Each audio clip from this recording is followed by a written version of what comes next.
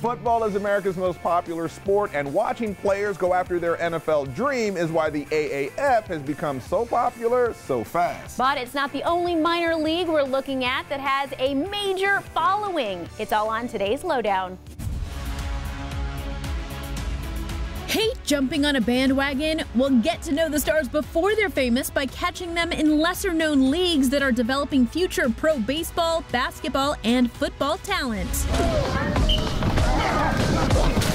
The first league on our list, the Alliance of American Football. Sidearms into coverage and it's intercepted. Its first season just kicked off last month, and so far they're getting solid TV ratings, with many people raving about the high quality and professionalism of the play. And he's gonna go touchdown, San Antonio.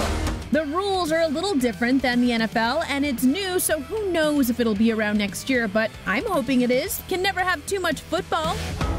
From a field to a court. Up next is the NBA G League, the official minor league for the NBA. The NBA Development League will now become the NBA Gatorade League. Now, in its 18th season, it was formerly known as the D League, but they partnered with Gatorade, who now use G League players to develop better products and get valuable insight into athletes. By the time he leaves, he will have a customized program really geared towards him to optimize his performance. And so it's this notion of real time actionable insight. The NBA also uses the G League to test new rules. Anyone can try out, and the season going on right now marks a milestone because 40% of starting players in the NBA are G League alumni.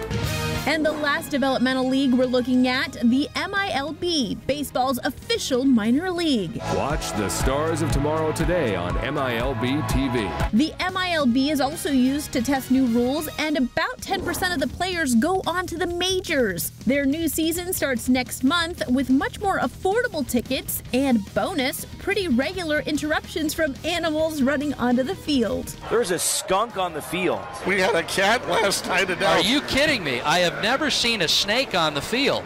There's a goat on the field stopping the game. You don't get that kind of floor show in the majors. Sports in a league of their own is what's on today's lowdown.